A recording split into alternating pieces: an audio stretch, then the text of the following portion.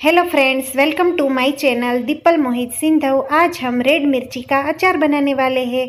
ये बहुत ज़्यादा सिंपल है बनाने में और टेस्ट ही इतना ही लगता है। तो चलिए हम बनाना स्टार्ट करते हैं। इसके लिए मैंने यहाँ पे ले लिया है 300 ग्राम जितना रेड मिर्ची।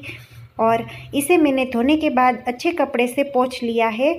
याद रखें, इसमें ज़रा भी पानी या मॉइस्चर नहीं रहना चाहिए। उसके बाद मैंने यहाँ पे मसालों में ले लिया है एक नींबू का रस, तीन बड़े चम्मच जितना ऑयल राई और मेथी का कुरिया, सौंफ, नमक, अजमा और हल्दी। ये सब चीज़ें मुझे बनाने में चाहिए। इसके बाद हम क्या करेंगे कि हमारी ये रेड मिर्च है, उसके हम डंठल निकाल लेंगे। इस तरह से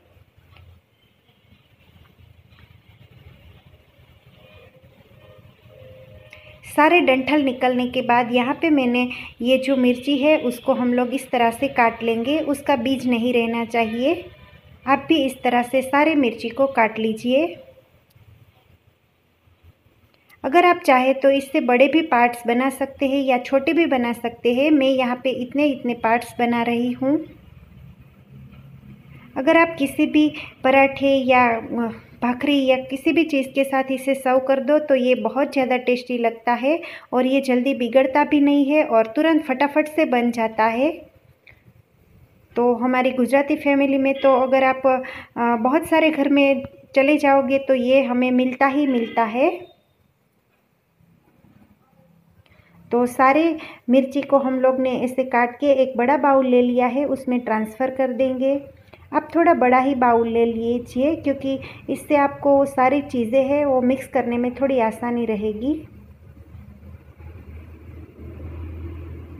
उसके बाद हम मसाला डालना स्टार्ट करेंगे। तो मैंने यहाँ पे एक चम्मच जितना हल्दी पाउडर डाल दिया है सौंफ डाल देंगे, अजवाइन डाल देंगे।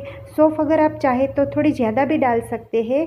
राई और मेथी का कुरिया है, वो मैं दो बड़े चम्मच जितना डाल रही हूँ। अचार में नमक थोड़ा ज़्यादा ही पड़ता है तो हम यहाँ पे दो बड़े चम्मच जितना मैंने नमक डाला है। नींबू का रस जो मैंने ले लिया था, वो भी एक नींबू का रस डाल दिया है। तीन बड़े चम्मच जितना ऑयल डाला है, ऑयल मैंने गर्म करने के बाद ठंडा कर लिया है। अब इन सारी चीज़ों को हम लोग मिक्स कर लेंगे इस तरह से। अच्छे से मिक्स होने के बाद मैंने यहाँ पे एक कांच की जार ले ली है। कांच की जार में अचार रखते हैं तो वो ज़्यादा अच्छा रहता है वो जल्दी बिगड़ नहीं जाता है तो मैं कांच की जार यूज़ कर रही हूँ। कांच की जार मैंने यहाँ पे धोने के बाद अच्छे कपड़े से पोछने के बाद 10 मिनट तक उसको आ, सन आ, सन के प्रकाश में मैंने उसको रख दिया था तो वो अच्छे से ड्राई हो गई है। उसमें ज़रा भी मॉइस्चर नहीं रहना चाहिए, नहीं तो आपका अचार बिगड़ जाएगा। तो ये मेरा अचार रेडी हो चुका है।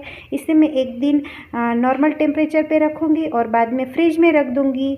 अगर आपको मेरा ये वीडियो पसंद आए तो please like share and subscribe और आपका अचार कैसा बना है, वो मुझे कमेंट करके ज़रूर बताना।